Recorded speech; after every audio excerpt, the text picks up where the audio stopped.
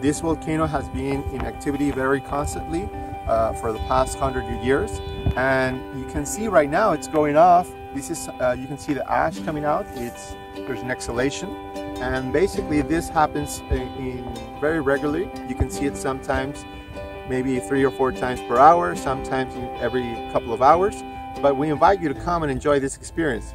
I'm sure you will really love it.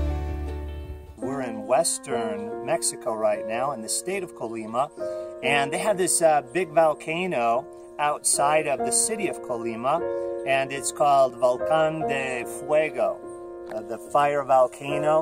Some people call it the Colima volcano. And uh, I know that when people travel to Costa Rica, they always talk about, oh, the uh, volcano there called Arenal. Well, actually, this one is twice as tall. It's almost 13,000 feet.